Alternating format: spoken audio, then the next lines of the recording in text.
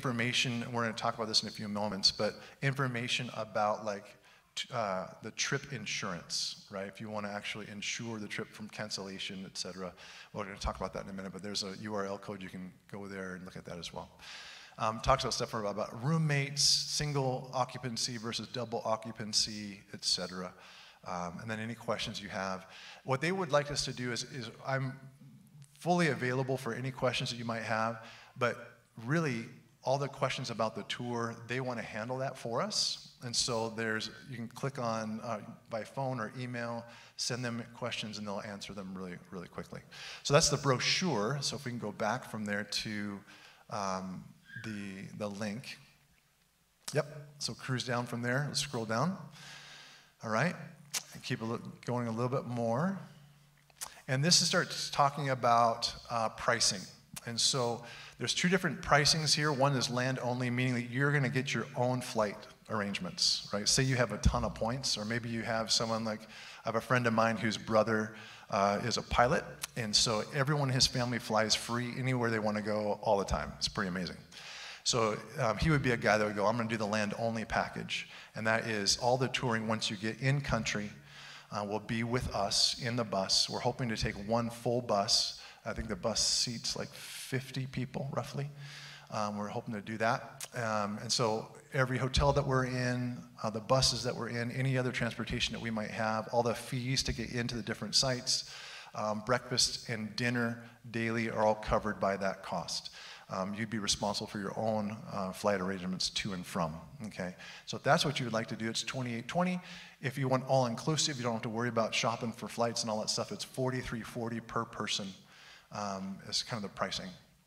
On the left of that, um, there's a, a, yep, right there. So if you scroll up just a smidge from there, you'll see the, the daily tour itinerary. You can click on that. And that just kind of gives you an idea, a real quick breakdown of wherever we're going to be in those, those eight days we'll be in country. Okay, so we're going to be going the first day, we're traveling, we arrive in, in Tel Aviv. Tel Aviv is a pretty amazing place. It's kind of like, how many of you guys have ever been to Huntington Beach, California? It's like being in Huntington Beach. It's pretty amazing. Um, you're down there. And so we'll spend a little bit of time there in Tel Aviv. In fact, I'm hoping to connect with a friend of ours, a good friend that um, received the Lord. He's a Jewish guy. I met him at the gym. He's Jewish at the time. Um, and uh, had an opportunity to share the gospel with him. He became, he got saved, went through our school of ministry that we had, and now he's working for Jews for Jesus in Tel Aviv. And so he's there now um, sharing the gospel with other, other Jews. Um, and so hopefully we'll get a chance to connect with him when he's there. But anyway, so um, stop, starting in Tel Aviv, from there we're going to go to Tiberias. And Tiberias is a town on the other side of, of Capernaum in Galilee. You can actually see if you're in Galilee, looking across, you see on the hillside Tiberias. And we'll be staying there. And from there, we'll be going to Caesarea, Mount Carmel, Megiddo, um, we'll drive by Nazareth, it looks like, and Cana. Um, and this is one thing we're trying to work on. I was sharing with, with Rory. Last, I went two years ago in 2019, and we were able to go to Nazareth. It's the first time we've ever been able to go. And they actually have a working village as if it was 2,000 years ago, where people actually living there. And so you get a chance to walk through and you see people working, you know, shepherds working. You see people carving stone. You see people living in houses. They live there 24 7. They're gardening, you know, they're cultivating the land. And it gives you an idea of really what it's like. And here's the cool part is at the end of the tour, you get to go into the synagogue an original synagogue that was there. You walk into it, it's super small. It's maybe the size of our chapel. Um, and you sit inside there, and then we actually get to teach about when Jesus read from the scroll of Isaiah and then um, it's, it's very, it's, it's remarkable. And so we get a chance to do that. We're working on trying to get a chance to do that. Uh, from there, we'll go uh, the Beatitudes, Capernaum, Gadara, St. Peter's Fish Lunch. That's where we get to do all that, eat, eat fish eyeballs and stuff. Um, wooden boat ride on the Sea of Galilee in Magdala. And it's pretty remarkable. We were there two, two years ago, and when we went out, it was calm like glass and in these massive boats. And we had three boats that we kind of stuck together, and we are having worship time together, and we started doing teaching, and all of a sudden the wind picked up. And we were reading the stories how, how the disciples were toiling at the oars, right? It was very, very difficult. Um, and you get a chance to see in that moment, it became very real how quickly the, the weather can change on that body of water from glass to the point where literally um, the guy who was teaching is yelling to try and allow people to hear, and we had to cut the ropes that tied the boats together because it got so bad, and we ended up just stopping and going back inshore. It got really crazy. So um, it's a wonderful time. Uh, baptism, Magdala, Golan Heights, we'll drive to Mount Hermon, Nimrod's Castle, uh, Caesarea Philippi, which is an incredible um, seaport um, a city. That's where Jesus took the disciples and he asked the question, Who do people say that I am? Right? And the response for Peter, You are the Christ, the Son of the living God. And Jesus says, Upon this rock, upon that statement, I will build my church. And so we get a chance to go there. Tel Dan, the headwaters of the Jordan River. We're going to be going, going to Bet Shan, uh, Gideon Spring, uh, Jerusalem. We'll be going, once we're in Jerusalem, Lord willing, we'll be able to go see a bunch of different things like um, the Western Wall, Hezekiah's tunnel, which is pretty amazing. You guys know the story of Hezekiah and the tunnel that was built. And during a siege, um, he got two groups of people working together to try and carve a tunnel through solid rock to bring water into the city so they could survive the siege and it's, you get a chance to walk through that. It's pretty amazing. The first time we ever did it, um, back in 2000, we had candles walking through this tunnel. And what happens in tunnels? It gets a little windy. I kept blowing the candles out. There's no, there's no light inside there at all. And so it's pretty, pretty crazy. This last time we we had um, flashlights. It's much, much better. Um, so we get a chance to do that. You come out in the pool of Siloam um, Western Wall Tunnel, Temple Mount, etc. So it's a wonderful, wonderful trip. There's a lot we're going to be able to see.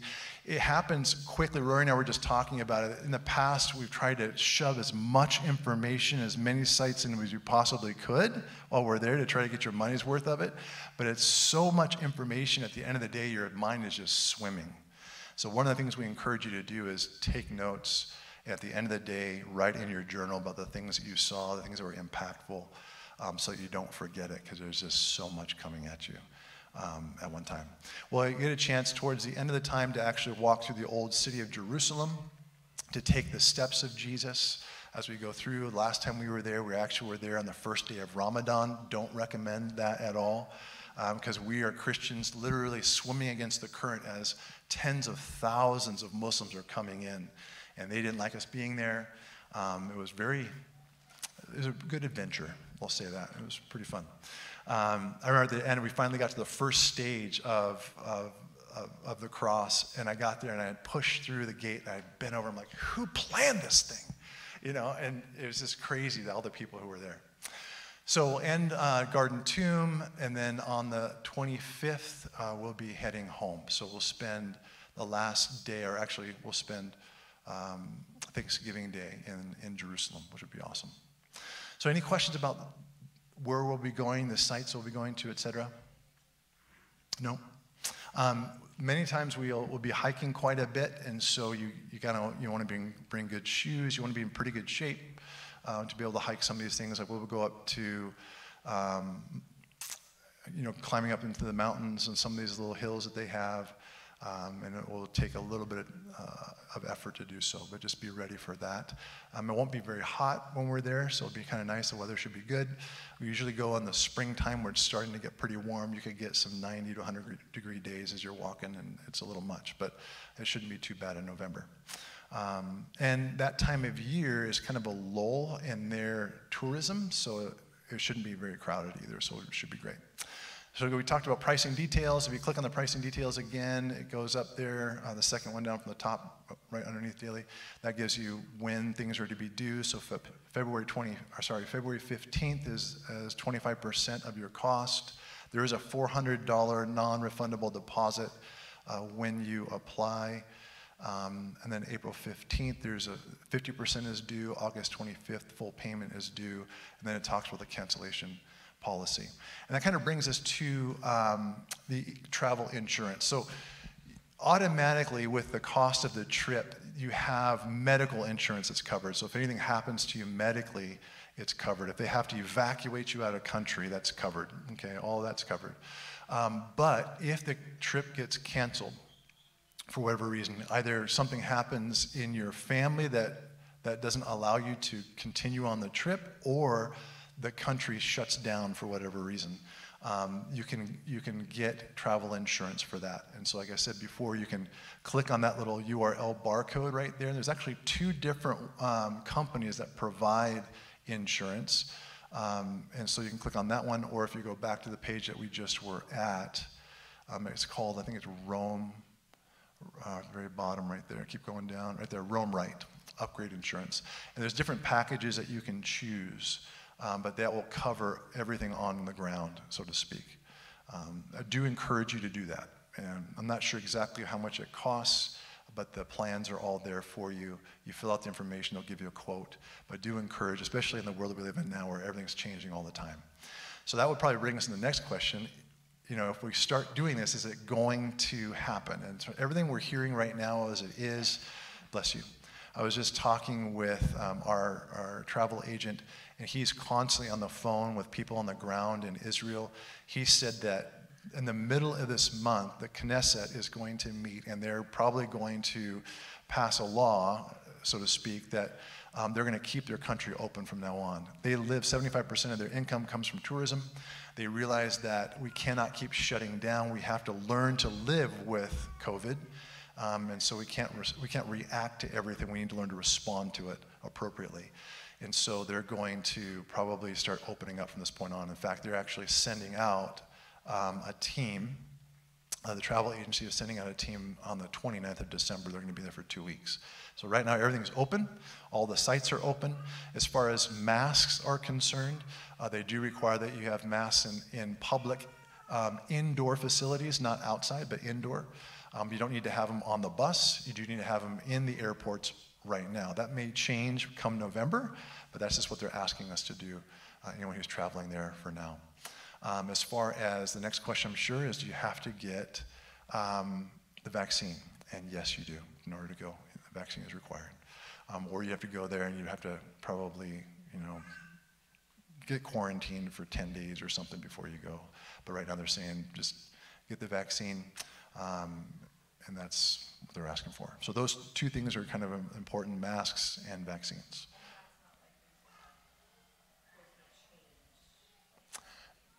Well, we don't know. It could, very well could be. We could come, you know, some come August, they're like, hey, no more vaccines, it's not a big deal. But as of right now, you need to have it six months before you travel. So that's what they're saying. So that gives us a little bit of time for things to possibly, you know, level out and change. You have to be fully vaccinated by the time you leave to go. Um, yes. I can get clarity on that. It's a great question. Um, but you have to be fully vaccinated before you leave. So, for example, like you have the Johnson & Johnson, which is one vaccine, versus you know Moderna and others that are two, two vaccines. We're hoping and praying that by the time this happens, that there's going to be some new options that come out. So it's not those things, but we'll see.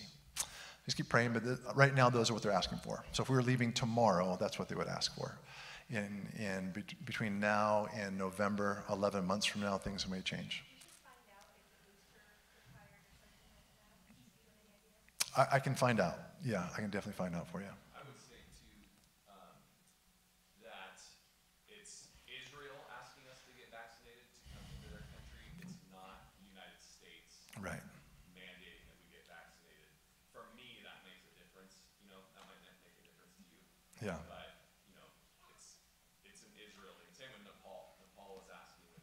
Right. before we go. For me, my convictions are, it's different from what the US is asking of us versus Israel and Nepal. So Right. It's Israel asking. Yeah, we're, you know, in, in many ways, we're guests in their country. And so that's what they're asking for us to do. So those are, that's the hard one, right? That's the, and I can see in people's faces, people like, oh shoot, I was so happy until you said that. yeah.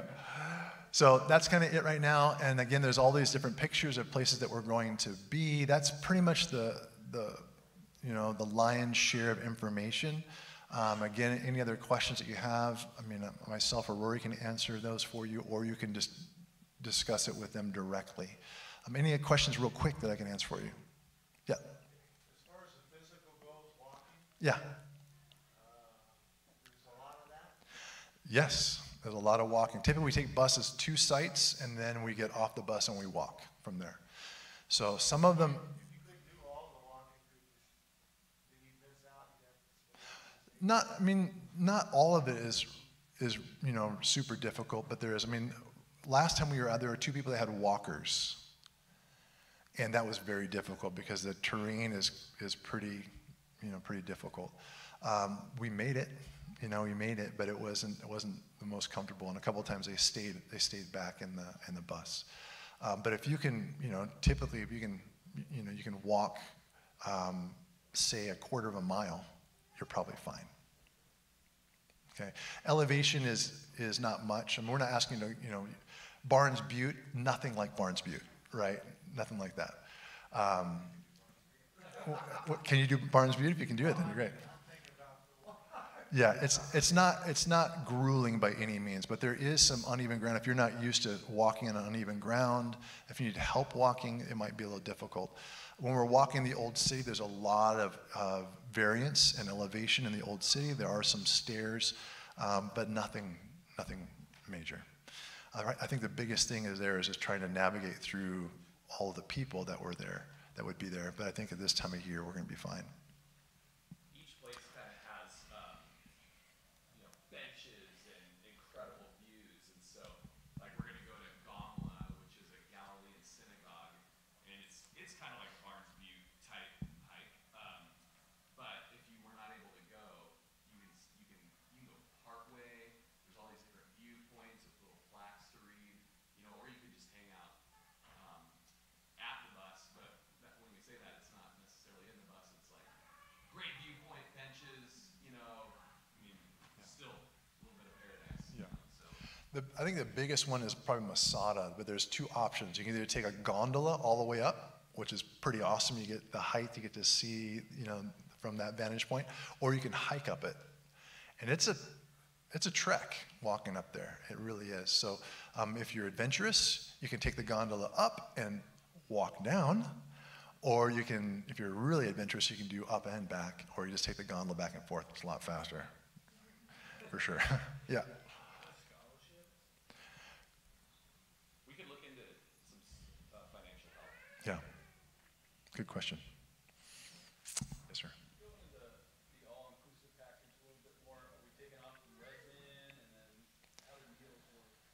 all that? So once, so meals work, once we're in country, breakfast and dinner is covered. Okay, your lunches and stuff, you kind of get on your own, and we'll stop in different places for you to be able to do that. You typically, if you're going to be going, like we'll be going to several different sites in a day, there's always a lunch place that we stop at for that, and that's typically on you to, to pay for that. Uh, but breakfast and breakfast there are amazing, and the dinners are amazing, so it's, it's really good. Um, as far as traveling from, say, we're meeting at the airport, and then those all those meals are on you while we're in the United States are on you. Um, that's how we've done in the past. So, and I think we are leaving from are we're leaving from Redmond. Yeah, Redmond to probably Portland or Seattle, and then from over there or or LA. Sometimes it's New York or Yeah. Atlanta, then, or sometimes direct. Yeah, we're trying to find. So there are some really good flights to take, right? Good providers, and there are some ones that aren't so good, and we're trying to find the ones that are good. so we're looking into that as well. It's a long flight, you know, and it is a long flight, but um, it's it's pretty comfortable. We're talking how long? 23 hours travel, Yeah, travel time. probably. Probably a big, it's like a twelve-hour flight on the long. You don't need a visa to get into Israel, but you do need a, a passport. Okay, so you do need to have a passport that is that is uh, valid six months beyond travel, right? That means so that when we're coming back, it has to still be valid for six months beyond that. Okay. Any questions about that?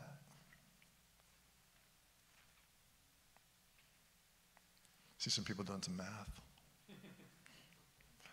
Anything else? Rory, anything you want to say?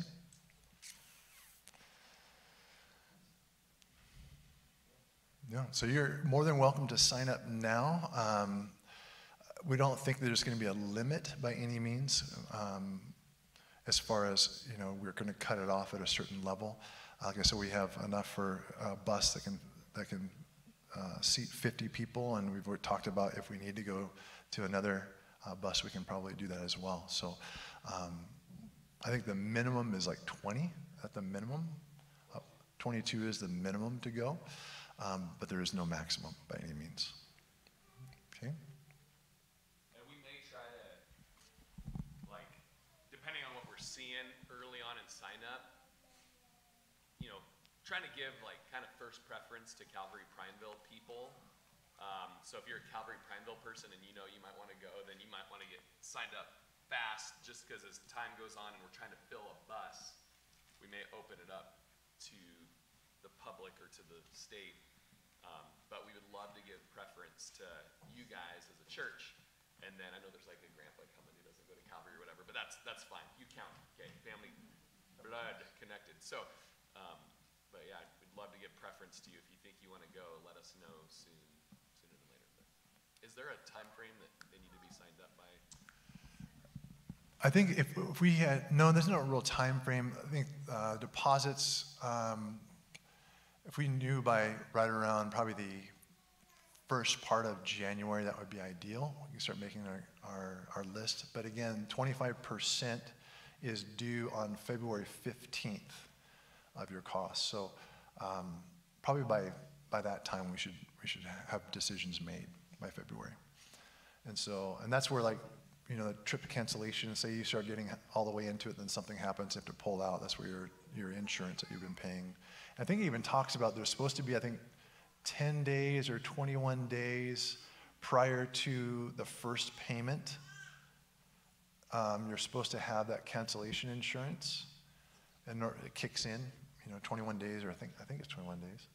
If you'll read it, look and see. But it should say how much, uh, what time that it is before that happens. Um, yeah. Oh, what does it say right there on the bottom? Tw- within 21 days. What does that say? If the insurance is purchased within 21 days of initial trip payment, oh, it's moving. A waiver of pre-existing medical condition exclusions will be provided at no additional cost. Okay. So, but you can also ask them questions as well about those trip, that trip insurance. Um, if that's something that you think that you're going to start going into, but you're just not quite sure, but you want to kind of, you know, get your spot on the on the trip, um, you can ask those guys those questions as well. All right.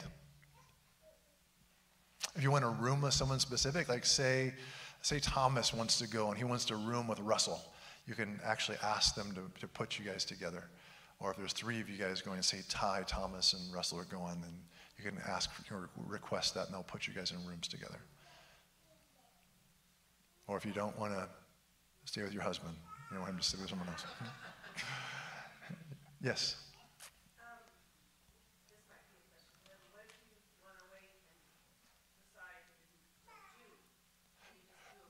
Yeah, probably too late by then because they have to start getting um, airfare, hotels, and all that stuff by that time. It's probably going to be too late by June.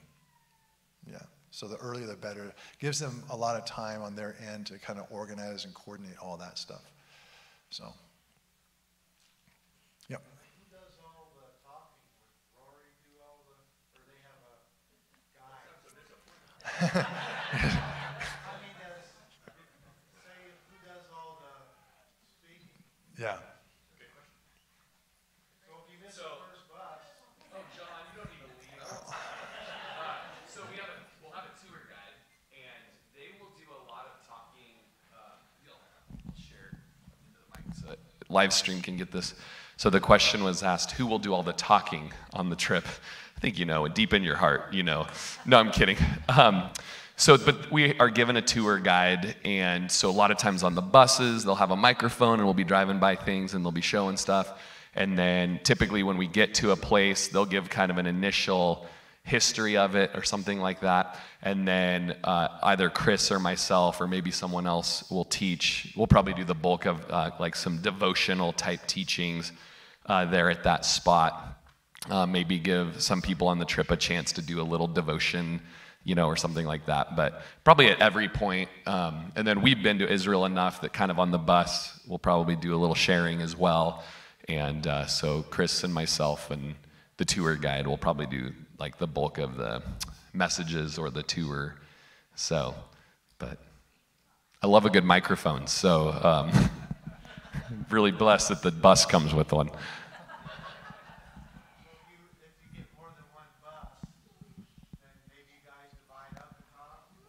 Oh, I guess we'll have to.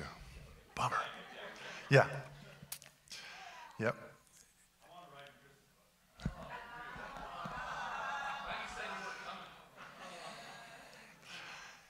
Yeah. Uh, tour, the tour guides there are amazing too. I mean, they, they literally go to school, like college, so to speak. They go to school in order to become a tour guide. It's a big deal. And so they're all just amazing. Last time we had this lady named Olga, who is Russian, that immigrated to Israel, but she's Jewish Russian, immigrated to Israel, and she was amazing. Just a really, really knowledgeable and fun to be around. She loved the Lord, and so it was awesome. So she was a Messianic Jew living in Israel. So it was pretty awesome. We talked about everything about kids growing up and raising kids and, and having them go off to college and what that's like, and it was, it was pretty fun. Any other questions?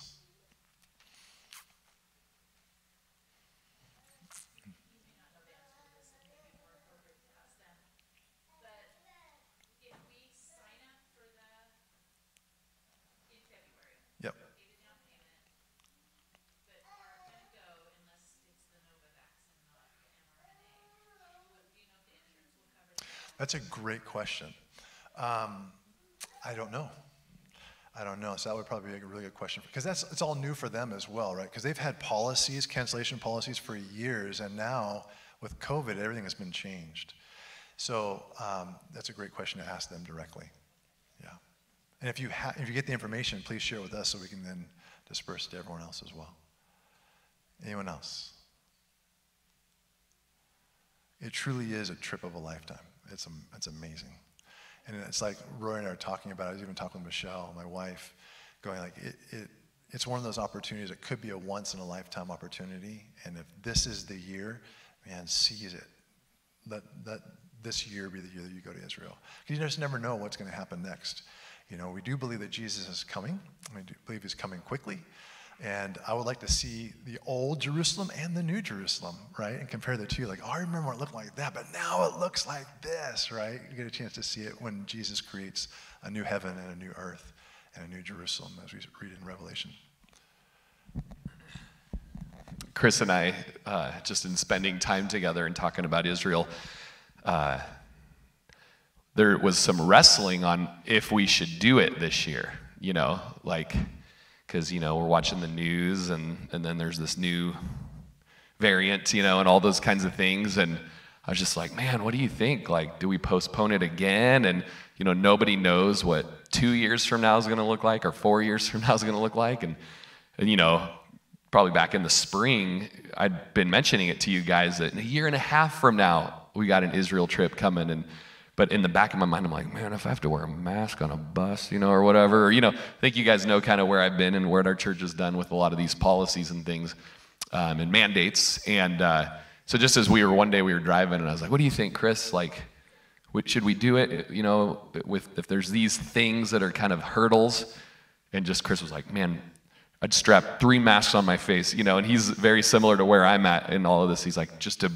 to get that once in a lifetime chance to go, you know, and so this is what's in front of us, and praise the Lord, it's not three masks to the face, and it's, you know, uh, there may be, you know, um, you, we may find it a little similar to Prineville over there, you know, it's a pretty conservative country, and so, um, yeah, so I think it's, I was like, once Chris kind of said that, I'm like, oh yeah, like it's, these are just little, little hurdles. But of course, everyone has their own convictions and struggles and, you know, reasons why not to do it, and that's totally respectable.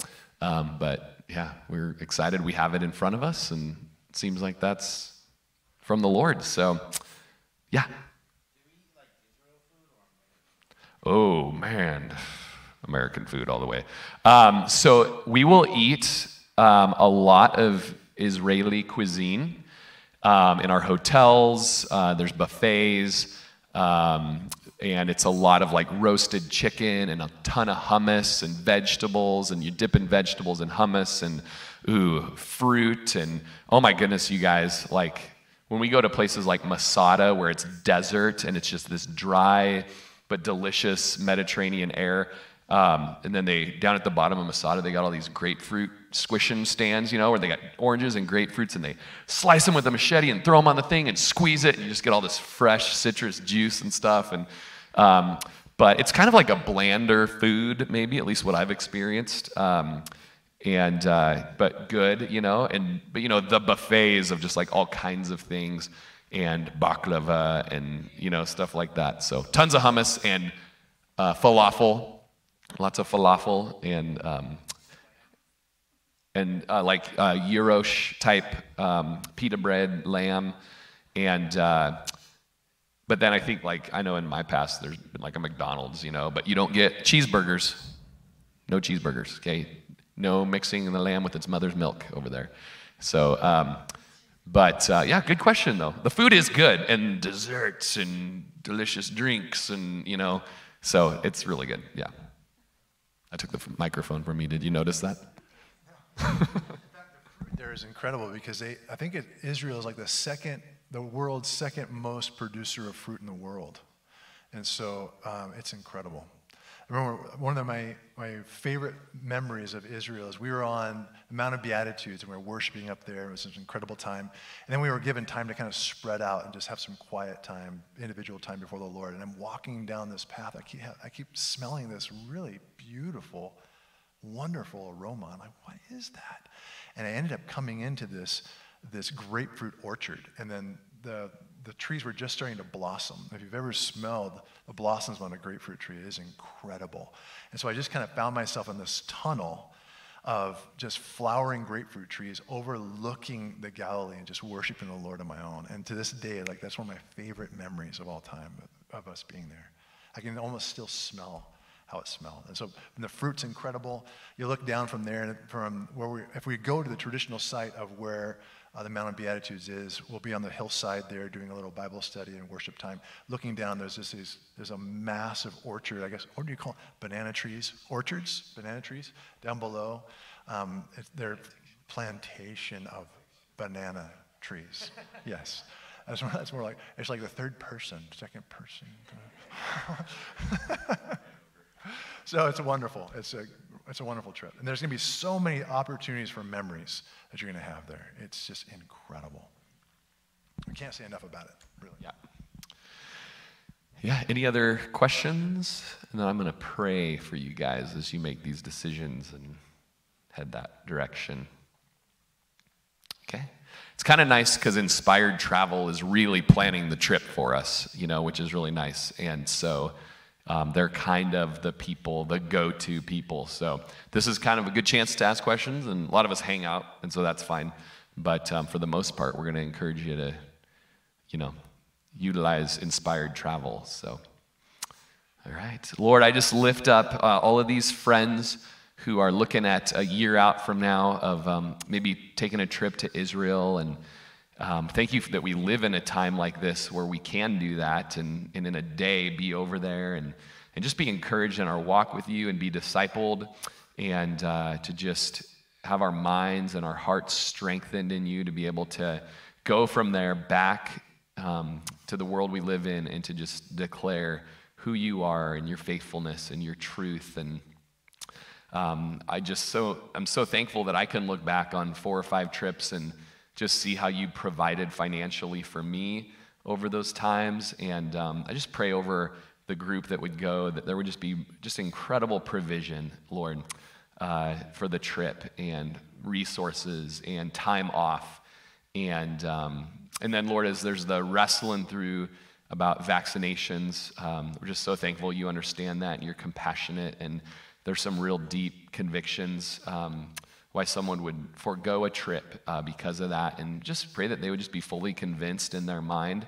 Or if someone is supposed to get that vaccine um, for this journey and this trip, they would be able to be fully convinced in their mind as they've wrestled through it and walked through it. And, um, and Lord, if I could just pray one big prayer of faith, just that uh, we would just be seeing the end of the COVID um, mindset and worldview and um, just the mandates and all of those things, Lord. Um, but we know that you've got a plan in the midst of the, the hard stuff, Lord. So just give it all to you. In Jesus' name, amen. anyone concerned about safety at all when we're there? I was just thinking about that. So is it safe, right? I see Shannon going, yes.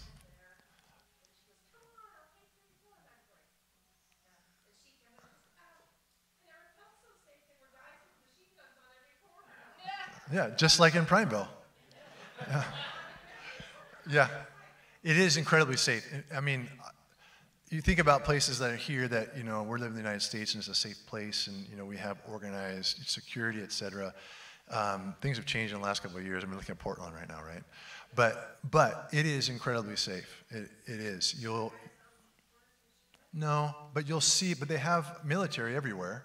Um, but they're just, they're low key. Like last time I was there, they had, this, they had these really cool hats, had these double wings on these hats. And I went up to this guy, I'm like, hey, um, how much do you want for that hat? And he goes, uh, he laughed. He goes, and I go, no, I'm serious. Like, how much you want for that hat? You know, I'll, I'll give you 50 bucks for that hat. And he's like, I can't. I, he goes, I would in a heartbeat, but everything that's issued to us, we're responsible for. And if I gave you this, and the biggest thing he said is that if I gave this to you, there's no telling how, who, in whose hands it could go into later, and they could wear this and cause some kind of issue. So we're responsible for everything. Because if I, I'd totally give it to you.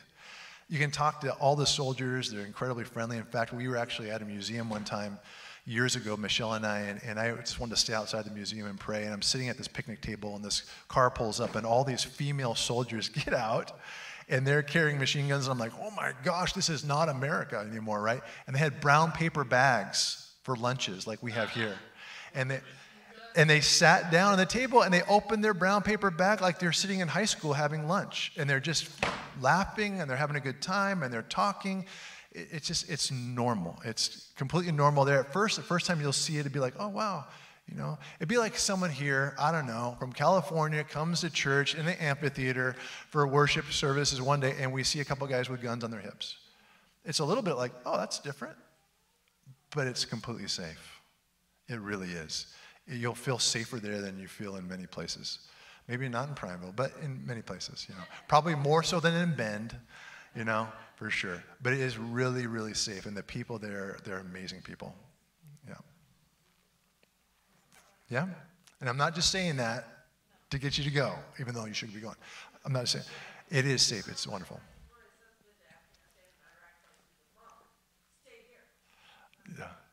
No, it's wonderful. The, the only thing I thought was weird is this last time I went, I've never had an issue before, and we're with a group of like 200 people.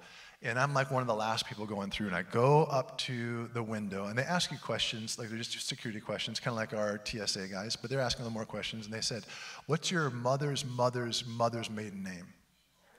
And I go, I don't know. And they go, Stand over there. And I was like, What? And so they took me in this one room by myself, and I sat there, and I thought, I just got to play this cool act like I'm not nervous. I pulled out a book. I'm sitting there just reading a book. This lady comes in and she goes, Can I ask you a couple questions? I go, Yeah. She goes, What's your name? I told my name. You ever been here before? Yes. Why are you here? Tourism? Okay. Um, are you here with a group? I'm here with a group. Okay. Um, great. And she leaves. And I'm sitting there for again for another 15 minutes. And I'm just sitting and there's a, there's a guard, it's a girl, She's probably in her 20s, and she's just kind of watching me. I'm thinking, just play this thing like I'm not nervous and be totally fine. Reading my book, texting on my phone. The whole group's texting, where are you? You know, and I'm just like, I'm just sitting here in security, just waiting. Then all of a sudden, I hear my name being called. My first name's actually John, John Christopher. I don't go by John. That's my grandfather's name. And so this lady's going, John, and I can't see anybody. I'm not paying attention. I'm reading my book. John, reading my book. Oh, that's probably talking to me. And so she goes, John Cross. It's like, oh, that's me. So I turn this corner, and there's a lady standing there, bleach blonde hair, blue eyes. And she goes, Are you John Cross? I go, Yep. She goes, Here's your passport. Thanks for coming. And lets me go. That's the only weird thing that's ever happened to me. But I sat there for probably a half an hour. But that's just them making sure the country's safe, right? And for whatever reason, when I said I don't know my mother's mother's mother's mother's maiden name, they're like, You should know that. We know that of course, like, you know, they're, it's all about, yeah, right? And they're Jewish. It comes through their mother's side. So she's asking me, like, you know, who are you? Where, where's your mother born? Where's your father born? All this stuff. And I'm answering all those questions. But I didn't know my great, great, great grandmother's maiden name. So you guys might want to do some investigation and get that figured out before you go. But no, they don't know. But anyway, but yeah, they don't know. But the, the point is, it's, it is super safe. It really is. Like I was walking by myself in downtown Jerusalem um, to go get gifts for my kids. Totally safe. You know, um, you can walk through like the, the Jewish section. They have different sections of the city, uh, all the different shopping sections. They're trying to sell you wares all the time. Um, you can have great conversations with people. It's completely safe by yourself. Just make sure that when you're supposed to be at a certain place at a certain time, you're there because the bus does leave and you'll be stuck kind of in the city by yourself. But we give everyone a card that has the hotel name. You show any taxi cab that, that hotel name, that card, they'll take you home. Does it happen? It does. Especially when you're thinking you have several hundred people you're trying to move through a city. Sorry, you had a question? No? Yep. You forgot it? Sorry. Yes. How much money would you suggest on bringing like gifts? That's a great question. Uh, depends on how many gifts you want to buy. All right. Uh, this is one thing I would say is like you could buy all kinds of things. I bought this shofar, right? You guys know what a shofar is? The horn that they blow to kind of call to worship. Really hard to carry back. you know, it doesn't quite fit in your bag, and then I still have that thing. I, every time I, I have, I look at, it, I'm like, I don't know why I bought that thing. I've never blown it. It's too big to carry. But how much money would you want to have? Probably, I would think maybe for food and for gifts, just maybe a couple hundred bucks at the most. Um, things are, are fairly inexpensive. It's not too bad. Uh, so, yeah. What's that? After COVID, what? Oh, I don't know because tourism is, they might be, they're trying to get people to come, so I'm not sure. It's a good question. I would think that it might have increased a little bit and or the opposite. They're dropping prices to, as an incentive to have people come. I don't know for sure. But it, last time I was there two years ago wasn't, wasn't bad at all. But you have great falafel. Really, really good falafel. It's like this, it's a bean that's compressed into a little ball. It's really good. It's really good garbanzo beans. Same stuff they make, same stuff they make like hummus out of and stuff like that. It's really good. It's really good. Yeah. It's really, really good. A lot of dates. Anything else? Any other questions? Super safe, wonderful experience, memories made, and all of us will be connected for eternity that way. Just know the memories. It, You can have conversations, yeah. Um, and I've had some good conversations, and I've had some not so good conversations. Depends on, on the setting, etc. But they're, yeah, they're open to it. There's so many Christians and other faiths that come through there. Yeah, it, it'd be crazy to, to say it's illegal, and then you have millions of people in jail. So, no. So would you ask the travel agency, like, what if I come down with COVID, they won't, then what do I do? They're all gonna leave me. What do I gotta do? While you're in country? Well, yeah, if you have, even if it was here, you know, um, say you're in, uh, where would we say, Texas. Say you're in Dallas, Texas. You can't even have COVID. You're going to be, the, they're going to ask you to quarantine if you have it. But you'll be in a wonderful hotel with a pool and room service. yeah. Yeah. Any other questions? you, can stay there. They might keep you. They're going to ask you when you walk up, like, "Are you Jewish?" yeah. Just have those little curls right here. You'd be good. Yeah. Anyone else? Oh, so you don't have to pack one back. That's smart thinking. Yeah. We'll start the bidding at five dollars. it's pretty incredible. Shekels. Okay, I think that's good. Yep. Awesome.